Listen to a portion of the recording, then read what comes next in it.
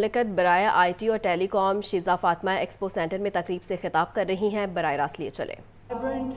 Business community brilliant mind and enthusiastic work force that is driving I T sector not just for Pakistan but making way for Pakistan to becoming a regional hub I am delighted to welcome our delegation from D C O and it's an honor to have them here, and it's an honor to be a founding partner for the Digital Cooperation Organization. And that is a testament to Pakistan's readiness to be one of the leading partners and stakeholders in the global IT ecosystem. As we gather here today, this is not a mere interaction of enthusiasm for technology, but it is a collection it is a